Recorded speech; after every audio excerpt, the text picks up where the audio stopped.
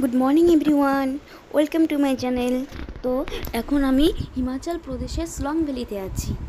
এখন জিপলাইন করার জন্য রেডি হয়ে গেছে। আর ওই দাদাটা পিছন থেকে একটা জোরে করে ধাক্কা দিয়েছে। তো এখন পুরো স্পিডে চলছি। মনে হচ্ছে যে আকাশে ভাসছি আর এত হাওয়াতে ভাসছি। তো অল্প অল্প ভয়ও লাগছিল, কিন্তু খুব মজা হয়েছে। তো আর ওই যে সামনে চলে গেল ও আমার হাজব্যান্ড তো এত স্পিডে চলছিলাম, মনে হচ্ছিল যে কোথায় গিয়ে থেকে যাব।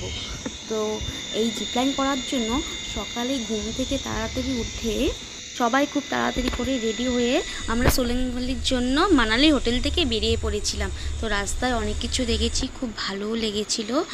আর তারপর সোলাংভ্যালিতে আরও অনেক জায়গায় আমরা ঘুরেছি। তো সেগুলোর ভিডিও আপনাদের আমরা পরে দেব। আর ওই যে দেখুন, একটা ওই দিকে একটা দাদা দাঁড়িয়েছে তো আমি ভাবছিলাম কোথায় গিয়ে দাঁড়াবো আমি? তো তারপর আস্তে আস্তে গিয়ে এখানে থেকে গেছি আর এই দাদাটা আমাকে ধরে নিয়েছে। তো অনেক জায়গায় ঘুরেছি। তো তারপরের ভিডিওগুলোতে আমি সব কিছু শেয়ার করব। ঠিক আছে, এখনকার মতন বাই বাই